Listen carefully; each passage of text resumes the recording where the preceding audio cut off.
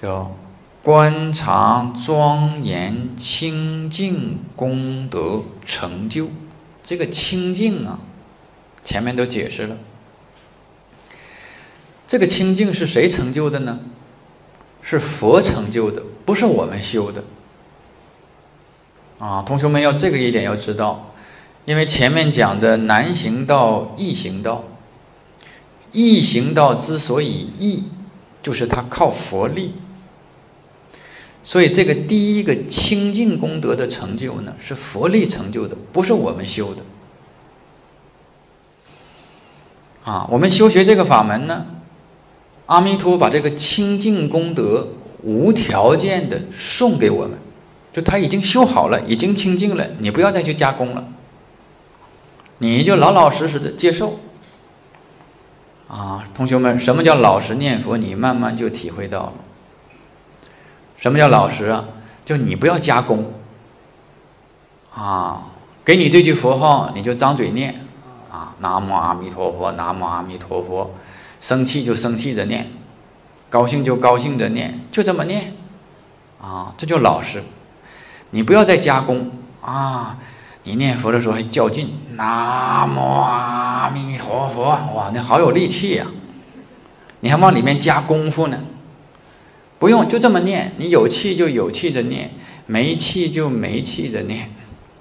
啊，能大声就大声，能小声就小声，没声就没声。啊，就老老实实念，不要把你的东西往里面加。啊，阿弥陀佛给我们这个清净功德是成就的，不需要我们再去打扫打扫。啊，你一打扫了，这你就辛苦了。啊，所以这个法门呢，它是给予的法门。啊，这所有功德都是阿弥陀佛给我们。啊，怎么样给我们呢？用这一句名号送给我们。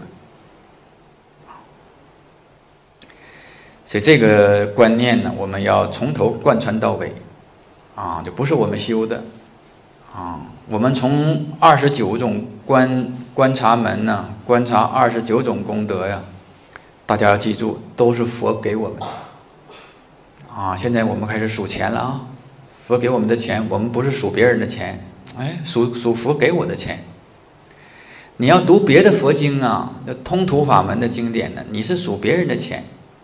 啊，这不起贪嗔痴慢，不怎么怎么，你在数数数别的佛菩萨的功德，不是你的。这个法门呢，是阿弥陀佛把圆满功德给我们，我们现在开始数，啊，数什么？